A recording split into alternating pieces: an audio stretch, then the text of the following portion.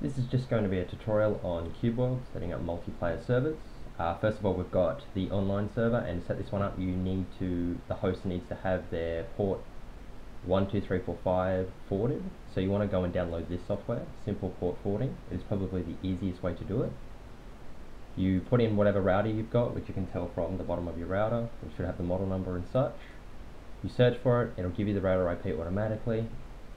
You go down here, you put in a new app, so you want to go add new, program database, you want to add custom, and you want to put in CubeWorld, and you want to have the start and end ports as 1, 2, 3, 4, 5, 1, 2, 3, 4, 5, and that will add. you then want to update your router, provided that you've actually selected the correct router, it'll go through the process of actually inputting the ports manually by itself. Then you want to test that the ports actually work,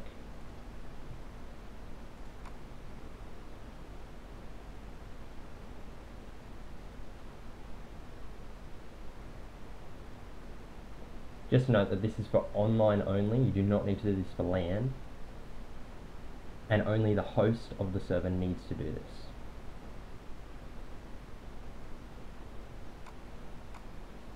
And success. Okay, so we're all fine here. So we can close out of this one, and we can open up the CubeWorld server. Um, you generally want to run it as administrator because there's some networking issues with the program at the moment. So when it's waiting for connection, we've got it all connected up. We want to open up CubeWorld.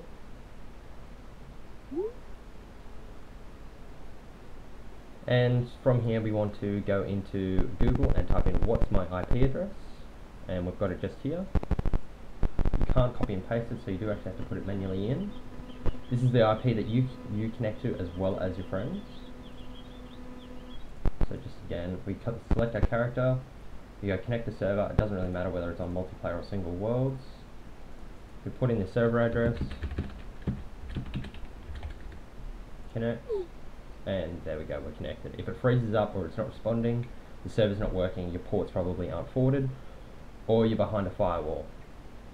Generally with Minecraft, Terraria, and CubeWorld, you want to have your firewall off for this sort of thing because there's already enough complications as it is because the server configurations are poor anyway.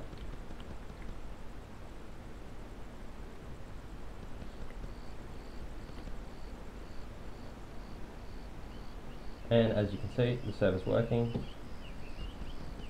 Very low view distance because I'm recording with Fraps at the moment.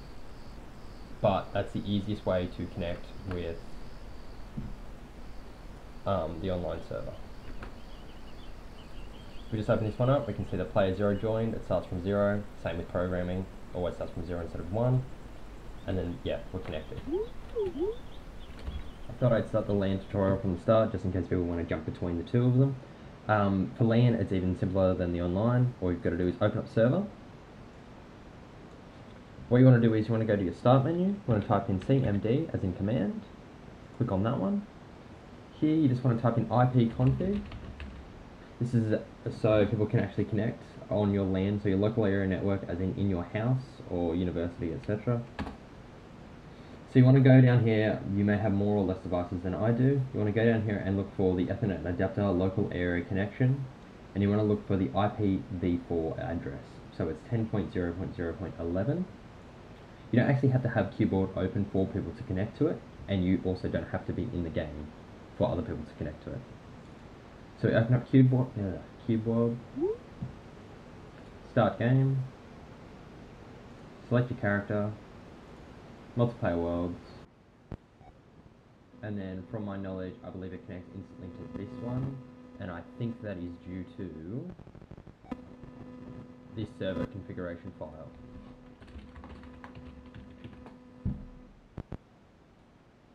If you can see that the the seeds match, this one and that one but I'm not too sure how that is changed at this point in time. So anyway, it's going to connect to this one at the moment. So if we just connect to server anyway, we want to copy this. So we've got 10.0.0.11 connect. And as you can see on the server XE, player 0 has joined. For argument's sake, that this actually does work. We're going to go to the start menu. I'm going to quit the server. And I'm going to try and reconnect just to prove that the LAN does work. I have tried on another one of my computers.